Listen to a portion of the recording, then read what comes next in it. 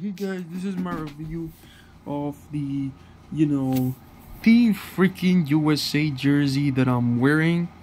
As you can see, a lot of people are gonna call, hey man, it's fake. Yeah, I know that.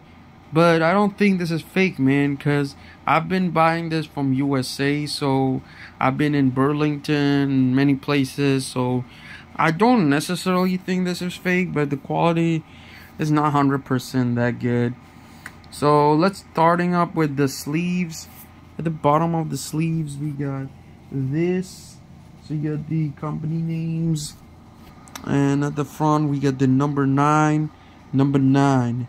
And I guess this is Pulisic. Uh, then we got the USA. The red and the blue.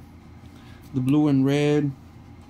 Uh, then there's the stripe. Now, obviously, if this was made by Nike, the treads would be real. But these are printed treads. So you can see there's the treads. I got detail on the sleeve with the double stitch. And at the downside, we got this cross patterns, like glass style.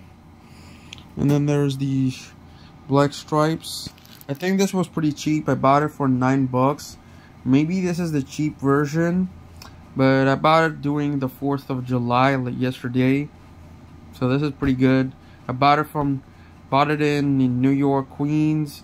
And I'm in New York, Queens. So you gotta check out the back. The back is not bad.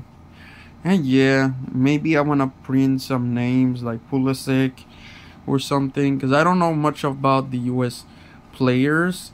But it's cool that USA is in soccer now and we're gonna watch Copa America. Uh, I'm gonna watch Copa America because I don't want to get copyrighted. But you know what? This is cool, man. This is cool. USA soccer jersey, man. So yeah, that's my review.